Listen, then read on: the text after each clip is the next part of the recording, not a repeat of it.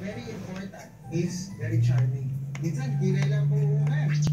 Gagano lang, tapos na. Nasiyo na ang lahat, di puso ko. Ako po kasi dati, mag-isip po ako, pero ngayon, Onyo, kung si Daniel ay may katrip, ikaw naman, sino ba ang gusto mo kalap?